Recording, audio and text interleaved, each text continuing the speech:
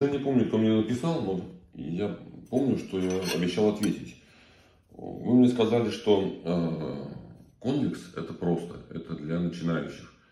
То есть вот клин это сложно. Так вот, конвекс начинается с клина. Сначала вот так вот делается клин. Вот так вот он делается. А потом только из этого клина уже делается конвекс. То есть сначала надо уметь клин, а потом уже надо уметь конвекс изготавливать. А так, в принципе, да, ничего сложного. Всем доброго времени на обзоре новых клинков. Это клинки, я бы назвал их даже опять пробники. То есть я опять что-то выдумал, опять что-то придумал. И опять же пробую, что получится. И получилось отменно. Получилось шикарно.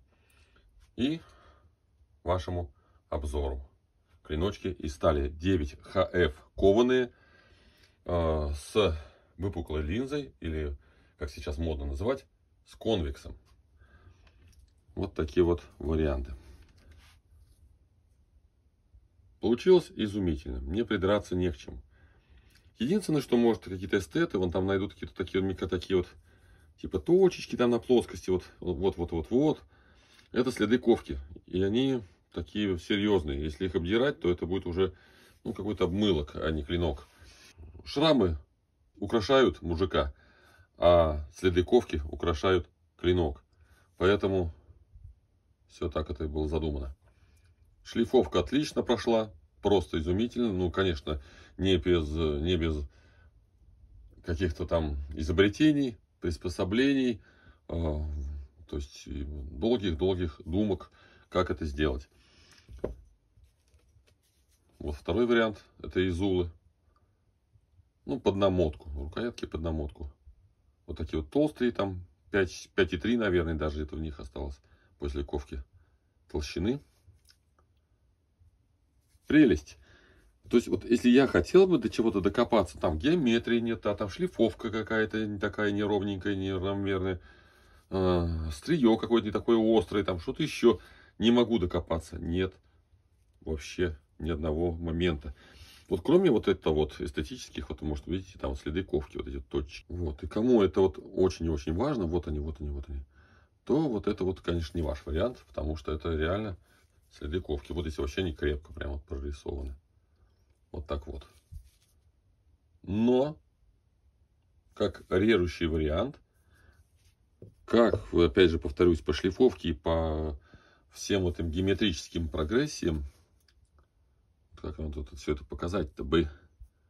Это просто бомба. Это бомба. Вот такие вот варианты. Ну, я не знаю, порезать что-то. А что тут можно порезать? Давайте потом спиртишком протру. Где у нас тут? Он прекрасно бреет. Сейчас только полысею чуток. Видите, да? Чисто выбрит слегка пьян. Так что прелесть. В общем, пробники получились на ура. Вот скажу так вот. Потому что конвексы можно делать по-разному. Результат можно получить разный. Но вот долго думал, долго готовил. Все вот эти приспособления, станки под это все опять чисто под конвекс именно. Потому что на этих станках ничего больше нельзя делать, кроме конвекса. И этих станков несколько. И поэтому тут все было сложно. Но эм, результат стоит того. Стоит. Что по твердости? По твердости сейчас я вам покажу. Я тут как раз заснял немножко. Смотрите сами. По-моему, ну просто изумительно.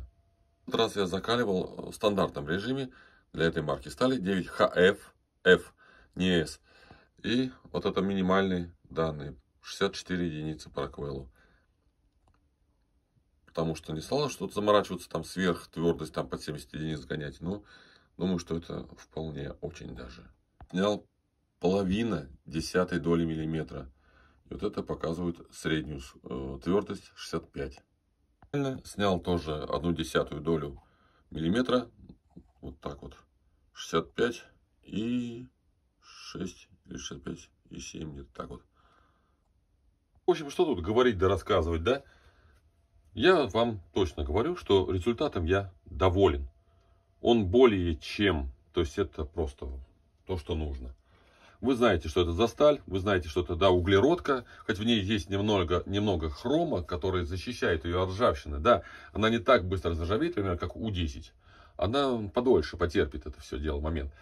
Но все же она к углеродистым все-таки ржавеющим относится. Но это же и плюс, да? То есть нержавейка давно уже подсядет, когда вот этот вот э, клинок будет еще резать и резать и резать и резать. И рез будет намного агрессивнее намного такой шикарный, более рез будет, чем, например, у нержавеющей, любой марки нержавейки. Поэтому вот углерод всегда в этом выигрывает. Но нержавейка выигрывает в том, что она нержавейка. Ну вот как бы и все. Если что-то я тут не сказал, что-то забыл, я подпишу или вы спрашиваете, я отвечу в комментариях. Ну а сейчас я, наверное, еще просто пару слов скажу, потому что меня тут уже затыркали, куда пропал, что делать будешь вообще, что да как, где ты есть. А я, да, запропал, я тут работаю за троих уже.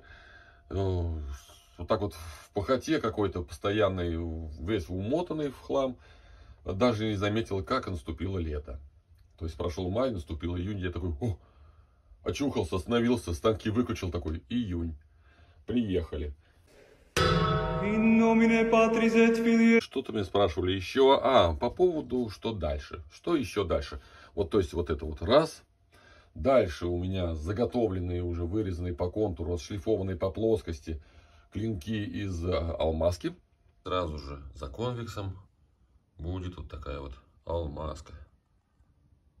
Думаю сделать клин, потому что там толщина что-то ну, небольшая, ну где-то 2,8 в сыром состоянии а 2,7, 2,6 будут на финише где-то плюс-минус. Вот, у меня ну, нормально так прям заготовил их.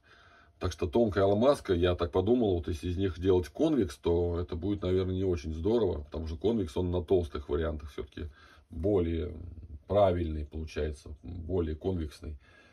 Поэтому там, наверное, будут клинышки. А на этом все. Спасибо за внимание и до новых встреч.